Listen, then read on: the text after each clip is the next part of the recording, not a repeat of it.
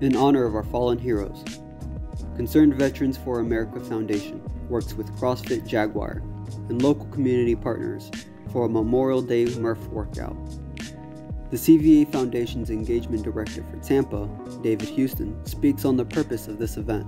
Memorial Day is a day that we pause and reflect uh, the many men and women that sacrificed and paid the ultimate price for our freedom, for our country, um, and just making sure that we remember and we honor them on this day.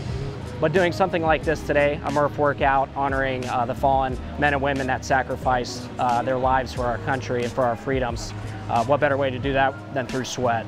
So as you can see today, this was a great uh, bonding experience for our veterans as well as uh, just CrossFit goers. And the sweat and tears doesn't, uh, doesn't even come close to what our men and women sacrificed. Um, and I'm just glad that we can stop and reflect on that sacrifice today. In addition, other local partners, such as the Phoenix, show their support through resources to encourage healthy lifestyles.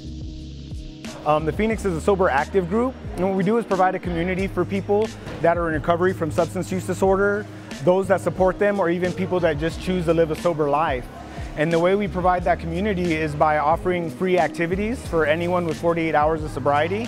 It's open to anyone, not just veterans, anyone that's, that's, that's sober really. Um, you can go to thephoenix.org and just sign up and anywhere you are in the country, um, it's just going to use your GPS to determine where the nearest Phoenix event is to you.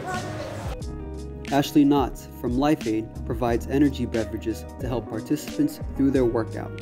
We recently just came out with a new energy drink, um, so I'm here today to pass this out and educate a little bit about the brand. So we call it Energy 3.0. It's 200 milligrams of green tea caffeine very clean. Most other most other energy drinks use synthetic forms of caffeine, so we made sure to use green tea leaf. Um, but we also have our recovery blend in the drink, so you're not just getting caffeine, you're getting recovery with the green tea. And we have four flavors. We have peach mandarin, which is my favorite, mango sorbet, blackberry pineapple, and then raspberry hibiscus. Uh, but I love being here. I love supporting, you know, uh, Murph and veterans in general. I love being here just to keep everyone nourished and um, I love that my company wants to pay me to do that, you know, so I'm very proud to work for that company. CrossFit Jaguar coach David Wright explains what the Murph workout entails as he guides participants through it. What it consists of is a one mile run, 100 pull-ups, 200 push-ups, 300 squats, and another mile run. So as opposed to a regular bodybuilding workout, in CrossFit you get a good blend of both endurance, strength training, gymnastics, and some powerlifting. So it's the best of all aspects.